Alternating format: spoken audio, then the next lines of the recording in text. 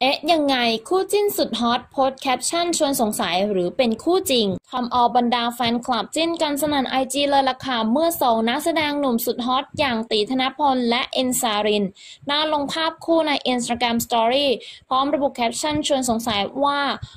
สองคนนี้โดยโพสต์ดังกล่าวอินสารินเป็นคนเริ่มก่อน หลังจากที่ทางนั้นฝั่งของตี๋ธนพลเจ้าตัวได้ repost งานนี้ก็ทำเอาบรรดาแฟนคลับฟินจิตหมอนกันไปตามๆกัน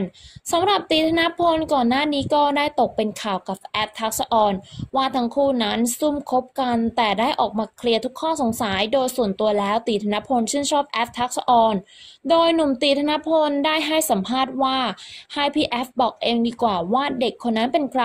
เพราะตีชื่นชม ชอบพี่แอฟส่วนตัว อยู่แล้วแล้วก็ทุกคนรู้ ชอบผู้หญิงสไตล์นี้มานานมีความน่ารักความสวยจากภายใน